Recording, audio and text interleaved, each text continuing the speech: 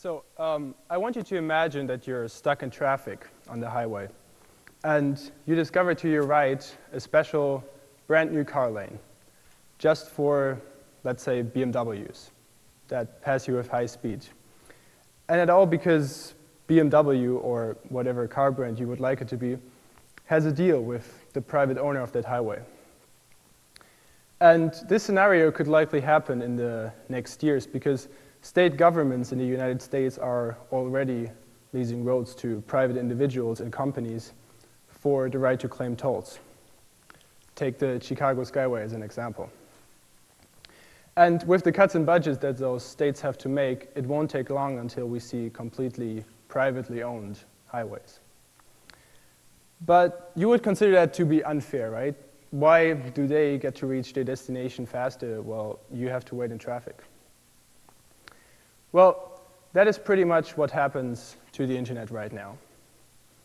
And like you don't want anybody to have that special car lane just for them because of who they are or what they drive, there's also the concept of net neutrality when it comes to the internet, which is the idea that internet providers like AT&T or Verizon should carry all the traffic on the internet without favoring or discriminating against certain products, websites, and services.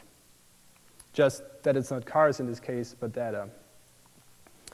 What does that mean? Well, it means that every website on the internet should be equally accessible to you, being it a large fast food franchise or your friend's cooking blog, with the only exception that large companies are usually able to afford more servers, which results in a better website performance. But on the way to your device, the data is treated equally. So what happens if that's not the case? Well, in our car scenario, BMW would be able to charge high prices, right? Because of the advantage that their drivers have. And it also wouldn't matter if another car manufacturer had the better product the better fuel economy or more horsepower, making it harder for smaller companies that don't have the money to make those deals in the first place to stay competitive. Again, it is similar with the internet. Without net neutrality rules, providers are free to discriminate against certain services, and there's a variety of uses for that. Take Comcast as an example a company that provides you with internet access but also happens to have their own streaming service. Nothing prevents them right now from slowing down or completely blocking similar services in their network, which obviously would make their customers more likely to use their own product.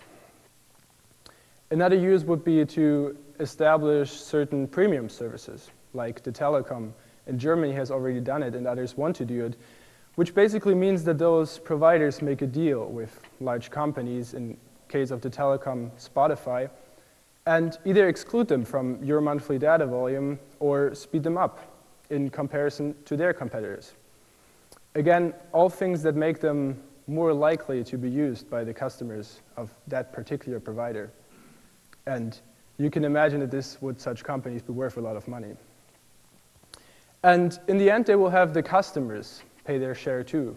For example, with package deals like we see them on pay TV right now, where you will pay to access certain websites and services. And this is not only bad for smaller companies or new startups that don't have a chance, no matter how good their products or ideas are, but in the end, it's also bad for you. It's bad for the customer that doesn't get those best products and services, but hardly any innovation or improvement all paired with high prices. And these things aren't just ideas in the heads of some managers, but are actually possible right now thanks to a federal appeal court ruling in January in which the DC Circuit Court decided that the Federal Communications Commission, or short FCC, which is the governmental organization responsible for regulating communication in the United States, does not have the authority to enforce its net neutrality rules that were written in 2010. Just back in February, the FCC announced that it won't appeal that decision, but instead rewrite those rules. But that's only a partial, partial solution because those new rules will be again and again exposed to lawsuits. So what options do we have? Well, one idea that comes to mind would be to prevent anybody from altering the data flow on the internet. But we like being protected against viruses. We want filtered and organized search results, although those are often based on what large companies like Google know about us. But those exceptions make actual laws complicated to make. Perhaps too complicated for most politicians, especially if you consider in which fields those people worked before and have experience in. Not saying that there aren't any exceptions. Al Franken, US Senator for Minnesota, is one of the greatest proponents of net neutrality. But we have seen several net neutrality proposals being killed in several Congresses over the last few years, and there's no reason why this should change anytime soon. So what we're left here with are basically two different scenarios.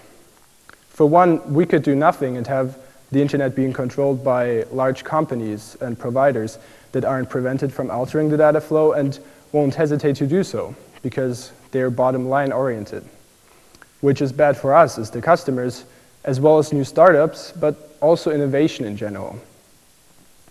Or we could have the government step in and regulate. But do we want that to happen? Because whether you agree with government surveillance in its current state or not, mass spying without a previous suspicion or a court ruling is likely to increase even more if the internet is controlled and regulated by the government and its agencies. And this does not just affect foreign countries. So neither of those two scenarios sounds good. What is there that comes closest to a solution? 10 days ago, on March 12, the World Wide Web had its 25th anniversary. And its inventor, Tim Berners-Lee, urged in an interview with The Guardian for the internet to stay open and neutral.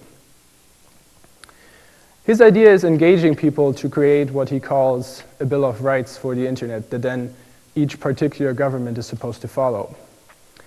But whether this will work out or not, he brought up a good point there because net neutrality really is an important factor when it comes to the issue of net, sorry, public awareness really is an important factor when it comes to the issue of net neutrality.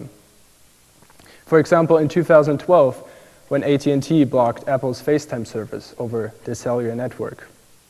In that case, pressure from independent organizations and individuals made them quickly reverse their decision. If customers have options in a competitive provider market and therefore can and do put pressure on their providers by switching them or even challenging them in court, we can keep the compromise between too much government control and too powerful provider companies and maintain the internet as a place of innovation, economic growth, and equal opportunities. All things that made its huge success and development only possible in the first place. So the next time you're driving your car or using the internet, and according to the numbers, you're likely to do both, ask yourself if you think that private companies should be able to prioritize certain traffic, slow others down, and put an end to a competitive market. Because if you don't, net neutrality is something you should care about. Thank you.